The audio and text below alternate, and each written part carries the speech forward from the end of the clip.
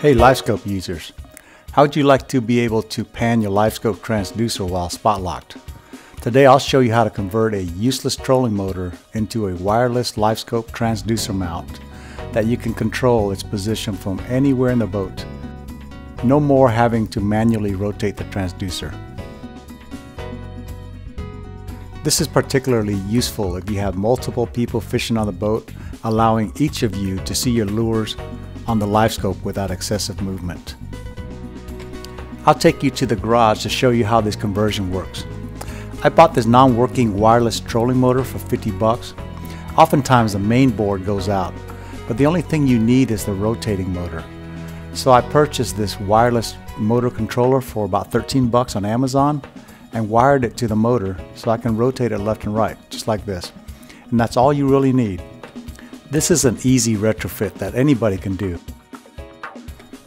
You can see that I have a GPS trolling motor that is spot locked onto the brush pile and I can pan around independently from the trolling motor.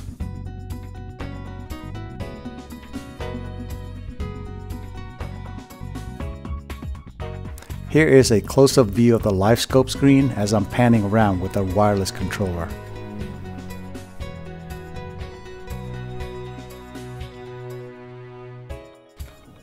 So let's take a look at this converted trolling motor. It's basically mounted just like any other trolling motor, mounted to the front. The main computer board has been stripped and the wireless controller is underneath the front deck. The transducer cable is mounted to a spring, a stainless spring that just keeps tension on it so that it doesn't uh, hang loose and get cut by the trolling motor that is right next to it. So as you can see when it goes down the spring is uh, a little tight and as you rotate the motor as you can see here the spring just keeps tension on it and lets it rotate while giving uh, as it needs uh, as it needs to. So you can go all the way around 360 degrees and the spring just just gives enough to uh, keep the line tight. Then the direction of the trolling motor is uh, the same direction in which the transducer is pointed then once you're done using it, you can just fold it back just like your trolling motor, and I just do both of them at, at the same time.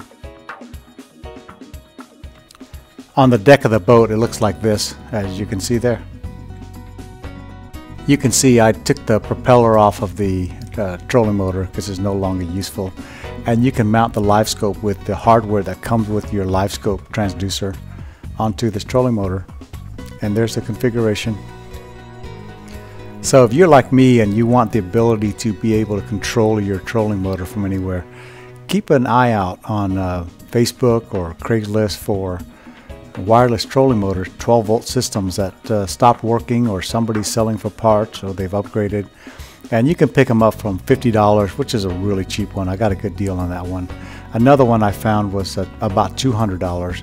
So for a few hundred dollars, you can have a LiveScope wireless controller for about the same price as um, buying a manual one and uh, you can control it from anywhere on the boat. Thanks for watching and hope you enjoyed the video and learned something today.